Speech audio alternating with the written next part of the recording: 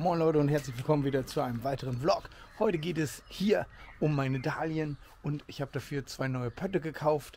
Die müssen jetzt allerdings noch eben Löcher im Boden kriegen. Dafür brauchen wir eben ein paar Bohrer und einen Akkuschrauber. Denn die Töpfe müssen ja auf jeden Fall unten einen Ablauf haben, denn gerade Dahlien mögen auf gar keinen Fall nasse Füße. So, das Ganze hier mit einem 10er Bohrer und einfach rin. Aber hier kommen nicht diese Dahlien rein, denn die sollen immer noch in meinem Beet, aber momentan echt wenig Zeit. Deswegen wird hier weiter Gas gegeben. In die Pötte kommen diese Dahlien. Die sind hier schon einen Tag vorgeweicht. Das ist einmal eine schöne orange und eine rote. Zeige ich euch gleich. Oder auch nicht, denn ich finde die Verpackung gerade nicht. Ah, ha, hier ist sie. Diese schlauer Fuchs. Und zwar einmal hier diese hier. Schöne gelbe mit so leicht roten Ansätzen. Und dann hier eine richtig dreifarbige, die auch richtig schön aussieht. Remans Firecracker. Und die Pötte werde ich so ein bisschen wie ein Hochbeet aufbauen. Ich habe hier noch Hochbeet, eine Grundfüllung, weil der Pott sehr groß ist, fülle ich sie damit aus. Ich habe sowieso keine Verwendung für, also perfektes Untermaterial. Der Vorteil daran ist jetzt, dass ich unten praktisch eine Drainageschicht habe, in dem ja dann hier grobes Material drin ist, wie bei einem Hochbeet auch. Wie ihr seht, der Pott ist jetzt von unten also 10, 15 cm gefüllt, aber der ist recht hoch, locker 50 und dementsprechend brauche ich dann hier gleich weniger Erde. Und als nächstes habe ich hier Hochbeetkompost. Den Sack habe ich jetzt auch einfach noch über. Dahlien brauchen super viel Dünger. Hier ist Kompost, der gedüngt ist. Dementsprechend kann ich das hier super verwenden und werde daraus praktisch ja, hier die nächste Schicht in meinem Pott machen, bis oben dann die Pflanz- und Blumenerde draufkommt, wo dann die Dahlien reinkommen. Schaut euch das hier mal an nur das Feinste für meine Dahlien. Ich übertreibe hier natürlich, ihr könnt die in ganz normale Erde reintun. Aber ich hatte die Säcke jetzt einfach noch. Aber schaut das mal an hier. Richtig schwatter Kompost. Da ist natürlich richtig Saft drin für die Dahlien, dass sie auch schöne Blüten bringen. Es ist wieder allerhöchste Zeit, denn hier die Dahlien schlagen überall schon aus. Aber jetzt kann ich sie ja endlich einsetzen. Und so schnell kann es gehen. Wieder zwei schicke Pötte fertig, wo dann Dahlien rauswachsen. Die Dahlien werden ungefähr einen Meter hoch. Das heißt, wenn man sich hier in Zukunft nebenkniet, sind die Blumen ungefähr hier. Als nächstes schauen wir hier bei der Feige vorbei. Schön in der Abendsonne. Guckt euch das mal an. Die schlägt überall aus. Und das ist halt ein Riesending. Der braucht noch ein paar Tage, aber dann ist er wieder wie so ein Pilz hier komplett zu. Parallel sei noch mal kurz erwähnt, hier wer einen Ampelschirm oder auch einen anderen Schirm braucht, 27% bis 30. Juni. Link ist unten in der Beschreibung. ZK Mall, da gibt es die Dinger mit einem Rabattcode. Und schauen wir auch noch mal kurz vorne in den Vorgarten, aus dem letzten Blog noch bekannt. Hier, die Ecke ist ja jetzt soweit fertig, aber hier muss ich die Tage noch los. Ich wollte eigentlich heute los, aber habe ich nicht geschafft. Hier müssen noch ein paar Stauden hin.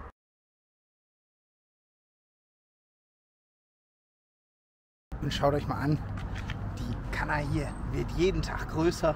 Ich freue mich schon richtig auf die Blüten. Habe ich euch ja letztens schon gezeigt, aber die ist locker wieder 10 cm gewachsen. Allerdings soll heute auch meine Steinfigur geliefert werden. Ich warte eigentlich jeden Moment auf den Anruf, dass derjenige da ist. Und ha, wenn man von Teufel spricht. Guck mal, was hier steht. Asia-Style war gerade da. Dreimal dürft ihr raten, was jetzt gekommen ist. Jetzt wird gerade noch die Sackkarre wieder eingeladen und dann zeige ich euch, was ich mir geholt habe. Hier mit eigener Hebebühne für die Auslieferung. Das heißt, wenn ihr aus der Gegend kommt, dann kommt dieser gute Mann hier bei euch vorbei und bringt euch die Steinfigur direkt in euren Garten. Und für die, die jetzt nicht im Bilde sind, hier steht ja meine Steinfigur, die hat jetzt sozusagen Nachwuchs bekommen. Und hier steht der Nachwuchs, und zwar in Form vom Tiki König.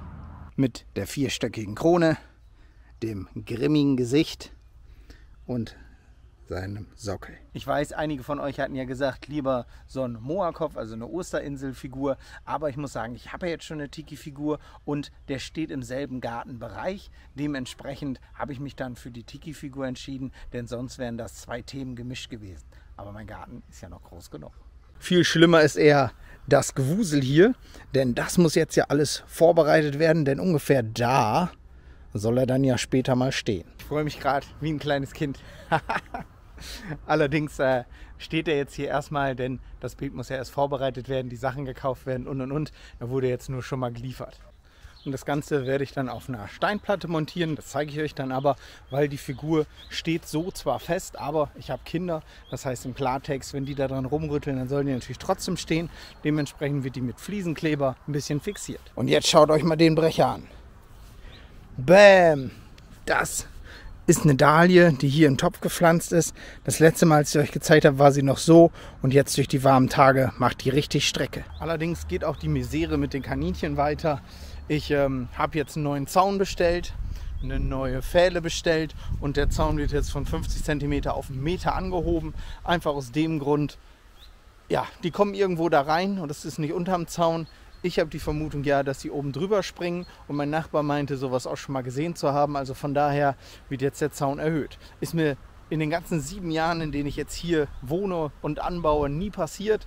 Aber es gibt für immer ein erstes Mal. Das ist dieses verflixte siebte Jahr. Und hier am Hochbeet angekommen habe ich noch das letzte Radieschen der Sorte Eiszapfen geerntet. Jetzt sind alle Radieschen soweit weg, aber checkt mal das hier aus. Der Salat hier ist ein bisschen zerfallen, wird heute beim Grillen benutzt und guckt mal hier. Richtig geile Klopper. Nur mal eben so zum Vergleich meine Faust. Das sind richtig schöne große Dinger, Sorte Landro. Und so langsam kommt jetzt auch der Blumenkohl. Ich habe hier oben schon so die ersten kleinen Köpfchen kann man schon sehen. Also bald gibt es lecker Blumenkohl. Und wenn ihr mal hier schaut, irgendein Tier gräbt hier immer diese Möhren frei. Ich lege das Ganze immer wieder zurück. Und nächsten Tag ist es wieder frei. Ich weiß nicht, ob eine Maus hier hocheiert oder so. Und ich muss unbedingt den Ampfer wegmachen. Checkt mal das aus. Boom. So groß ist er. Und hier der ist schon wieder in Blüte. Wenn ich den jetzt stehen lasse, habe ich hier nächstes Jahr überall Ampfer. Das heißt, in einem der nächsten Vlogs werden wir uns hierum kümmern. Ich habe auch schon die passenden Stauden rausgesucht. Hier soll ja ein Staudenbeet drumherum kommen. Vorne im Vorgarten werde ich auch noch mal ein paar Stauden setzen. Und ich habe mich auch entschieden, hier das Tulpenbeet, was da hinten entlang läuft, da wachsen jetzt ja keine Tulpen. Die Kaninchen haben so gut wie alle Sommerblüher leider zerstört. Dementsprechend werde ich jetzt mit Stauden sozusagen die Lücken wieder füllen. Und ich habe ein paar Tests gefahren und weiß jetzt, was Kaninchen mögen und was nicht. Funkchen zum Beispiel gehören dazu, die mögen sie nämlich nicht. Und alle anderen giftigen Sachen. Vielleicht werde ich da so eine Art blühende Giftecke machen, damit die Kaninchen das nicht wieder abfressen. Und meine Kinder, die wissen das, dass man da nicht dran darf. Und hier gucken wir so ein bisschen ins Schlafzimmer der Marienkäfer rein, die sich hier brav vermehren, denn hier oben sind überall Blattläuse dran. Sollen sie mal Nachkommen machen. Und auch hier den Mangold, den kann man auch schon schön beernten hier auf der Ecke. Ich werde auf jeden Fall jetzt bald das Hochbeet neu bepflanzen, aber dann nehme ich euch natürlich mit und hier kommen Gurken rein, Auberginen und ja, verschiedene andere Sachen, Salate natürlich wieder. Kohlrabi darf nicht fehlen, aber das zeige ich euch dann. Und hier die ersten Stachelbeeren werden so langsam reif. Kleine Geschmacksprobe.